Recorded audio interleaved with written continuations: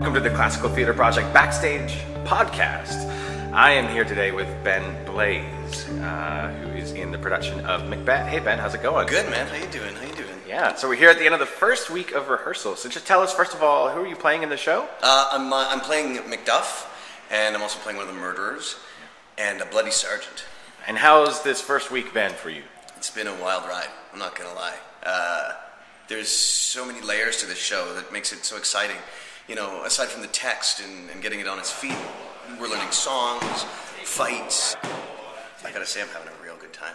And what's been your favorite part of the week? My favorite part of the week, well, you know, because I'm a big kid at heart, I think it's been the sword fights. Honestly, I uh, this is one of the most complicated and exciting fights I've had the good fortune of, of being a part of, and and I'm quite proud that myself and Paul Kidd, who's playing Macbeth, were able to uh, learn it in three days. So now it's just a question of going over it and making it just look as tight and as sharp as possible.